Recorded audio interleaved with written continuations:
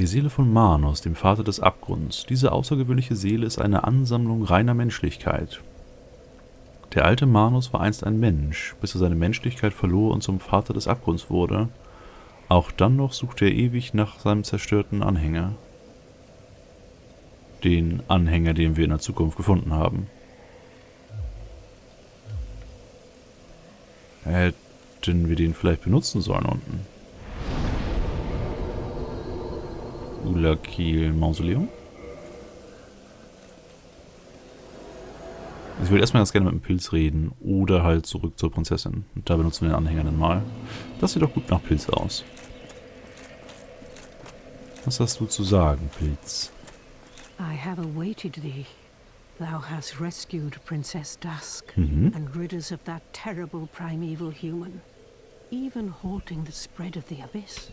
I salute the grandeur of thine enterprise. Please allow me to express my gratitude. I thank thee, as do we all.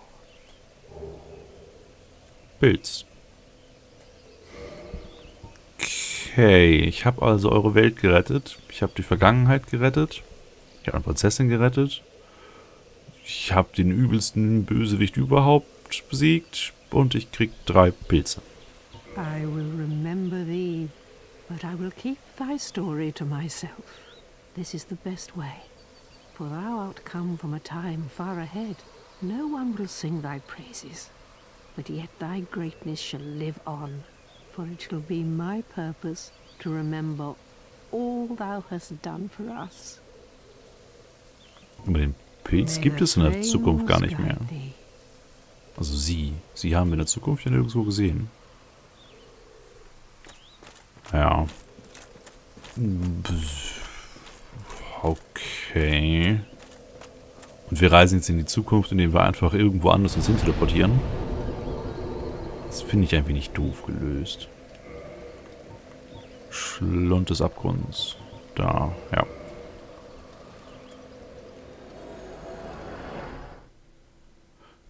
Wenn es... Ja, genau. Das ist sehr gut. Hier würde ich nämlich jetzt ganz gerne... Hm, Menschlichkeit, da. Benutzen. Und in der menschlicher Gestalt einmal mit dir sprechen. Vielleicht bringt das hier irgendwas anderes. Und wenn das nichts bringt, dann benutze ich vor ihr das Amulett. Falls man es denn benutzen kann. So, jetzt weg. Und wo bist du? Ist doch arg dunkel hier. Und höchstwahrscheinlich ist sie gar nicht mehr da. Das heißt, es war wieder so eine Stelle, wo ich zu dem Zeitpunkt hätte wissen müssen, was man tun muss, was ich aber nicht wusste. Das Spiel ist wirklich darauf ausgelegt, 10.000 Mal durchgespielt zu werden. Äh, nee, also wenn sie hier noch irgendwo liegen würde, dann würde man in Entfernung wenigstens so einen kleinen Hügel sehen. Also, ne, so ein, was sich vom Boden abhebt. Aber ich sehe hier nichts. Ich bin hier schon einmal im Kreis gelaufen. Ja, okay. Damit ist das Addon anscheinend durch. Ich weiß nicht, was ich mit der Seele von Manus genau anstellen kann. Wie bei allen Seelen ich nicht weiß, was man damit machen kann. Ich könnte jetzt zum Schmied gehen, aber der kann mir nur zeigen, was man mit der Seele macht, wenn ich genau die richtige Waffe dabei im Inventar habe. Und auf Stufe 10. Also, mm. Teleportieren. Wo gehen wir denn mal hin? Feuerband. Nee. Steindrache? Was war der Steindrache?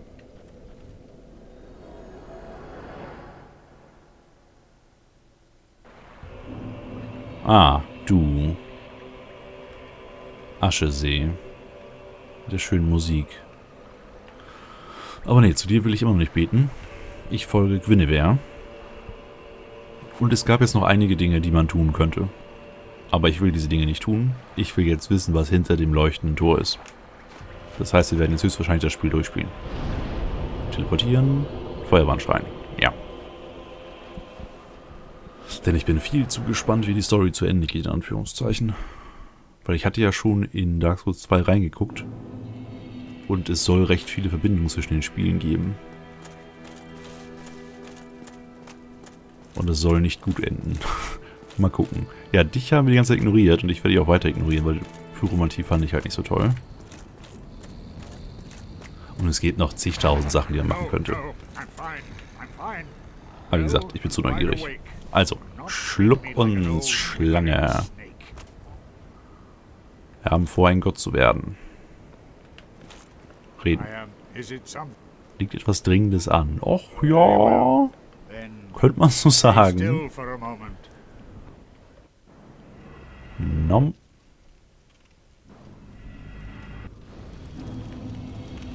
Feuerwandaltar. das sieht ja voll albern aus. Ja, okay. Also wir haben die Herrscherseelen gesammelt, wie uns aufgetragen. Und dieses Tor hat sich aufgetan. Und jetzt gehen wir einfach durch. Und da kommen schwarze Ritter. Die aber nicht wirklich da sind. Okay. Wow. Das sieht mal schick aus. Ofen der ersten Flamme. Hm. Ah, da unten sind Gegner. Und das sind wieder Gwynns Ritter. Oder?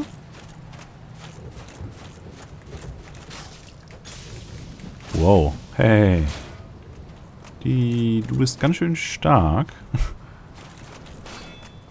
Aber du kannst immer noch nicht so gut mit Strafen umgehen. Boah. Also ich... Hm. Es gab da ein, zwei Sachen, die ich aus Prinzip nicht machen wollte, weil sie halt viel zu häufig gespoilert wurden. Aber eventuell brauche ich doch eine bessere Waffe. Okay, einer weg. Normale Heilung. Das sind jetzt alles Typen, die ich früher als Miniboss bezeichnet hätte. Ähnlich wie das Wildschwein und so weiter. Also die schwarzen Ritter von früher nur noch mal um Zacken stärker. Die bewachen jetzt ihren Herrn und Meister? Oder das Ding, was die Seelen des Herrn und Meistern hat? Wow. Das ist mal ein Schwert. Komm, hau, ich will ausweichen. Oder so. Ah. Au. Beide gleich träge. Ding, Ding. Und nochmal. Oh, Loot. Schwert des Drachentöters. Das hört sich mal schick an. Äh, 220 hat unser Schlangenschwert. 220 hat das Drachentöterschwert. Benötigt 32 Stärke, 18 Geschicklichkeit. Dieses Großschwert der durch Lordran wandernder schwarzen Ritter kam gegen die Chaosdämonen zum Einsatz. Die weit ausholende Bewegung, die das ganze Körpergewicht in den Angriff wirft, ist der größte der damaligen Feinde geschuldet. Ah ne, der Größe der damaligen Feinde geschuldet. Okay. Aber 18 Geschicklichkeit bricht uns halt das Knick.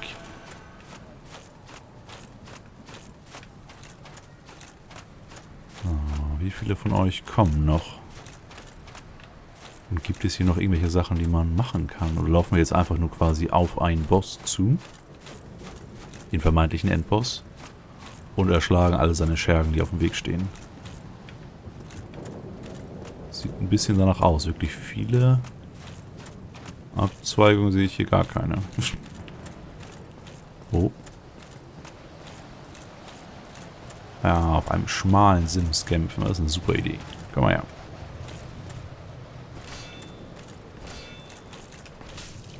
Oh. Kick. So. 2000 Seelen. Und ja, ich habe recht viele Seelen dabei, die hätte ich eigentlich mal benutzen sollen, aber ich denke, das Spiel ist wie gesagt gleich rum, also ist nicht so schlimm. Und man kann ja leider seinen Charakter nicht importieren in den zweiten Teil. Das wird wahrscheinlich auch etwas zu überpowered. Mal ganz davon abgesehen, dass es nicht kompatibel ist, aber ja. Du hast eine Axt.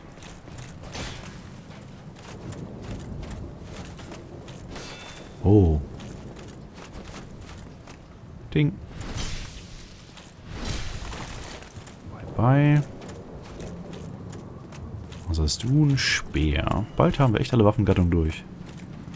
Ein Bogen fehlt noch. Oder eine Armbrust vielleicht. Oh, nicht. Mir fällt bei den Bögen gerade ein, dieser Zweiertrupp an Bogenschützen. Au. Zweiertrupp an Bögenschützen, wo wir hochlaufen mussten. Das war ziemlich garstig.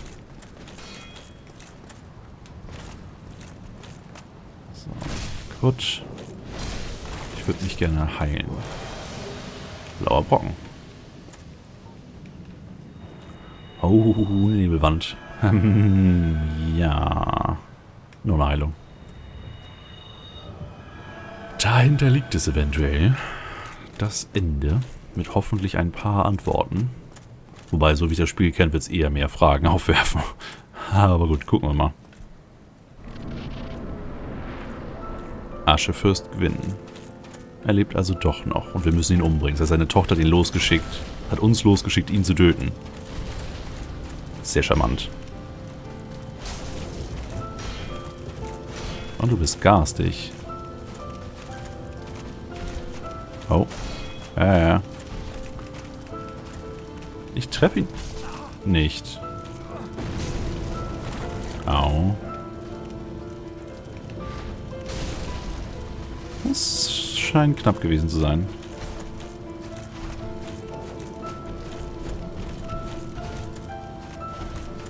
Warte mal. Ich schaue mich erstmal... Au.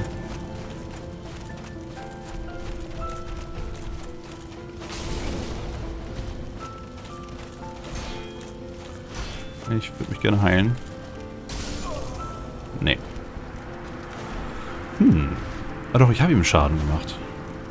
Okay, dann habe ich das falsch gemerkt. Also ich hatte auf ihn eingeschlagen, ich hätte keine Regung bei ihm gesehen. Aber unten an der Lebenspunktanzeige sieht man, ne?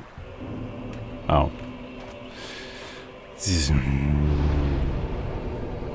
Teleportieren. Feuerbandschein. Ja. Also er hat Schaden genommen, ganz regulär. Er ist einfach nur ziemlich stark. Das heißt, wir werden unsere Ausrüstung dementsprechend anpassen müssen. Und hoffen, dass die Schlange jetzt nicht wieder weg müssen. Das ist echt doof hier mit dem... Hier ist falsch. Das ist echt doof mit dem... Ähm, Leuchtfeuer hier. Dass wir das nicht mehr nutzen können. Weil wir hätten eigentlich die Seele, und zwar genau die Seele, die wir von Goldie bekommen, irgendjemandem geben müssen, damit der Tod gerecht ist oder was auch immer. Und warum schläfst du schon wieder? Ich hab gerade Gwyn gesehen. Und bin dabei, ihn zu ersetzen. So wie du und Guinevere das wollen. Kannst auch nicht schlafen. Teleportieren. Ja. Ja. So, runter.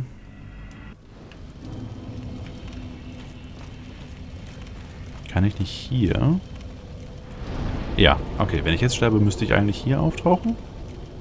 Ich hoffe mal. So, nächste Frage. Sind die Ritter alle wieder da?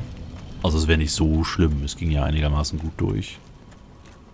Es wäre schon praktisch, wenn sie nicht da sind. Denn ich habe das Gefühl, ich werde noch ein, zweimal bei ihm brauchen. Ja, Ritter sind wieder da.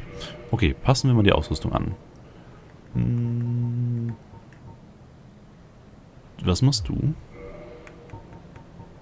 Ermöglicht Abgrund schreiten. Ja gut, das brauchen wir nicht unbedingt. Ich glaube, ich benutze mal den hier. Verstärkt TP, Ausdauer und maximale Ausrüstungslast des Trägers.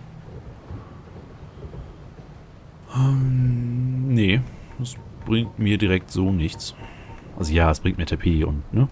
Aber ich denke, entweder Flammenschutz gegen sein Schwert oder Ausdauerregeneration bringt mehr. Hm, ja. Das war es eigentlich auch schon. Oh, warte, wir könnten noch... Äh, hier. Moos weg, komische Steine weg. Heimkeknochen weg. Wir könnten hier noch eins von den Harzen benutzen. Goldharz zum Beispiel. Um damit eventuell mehr Schaden zu machen.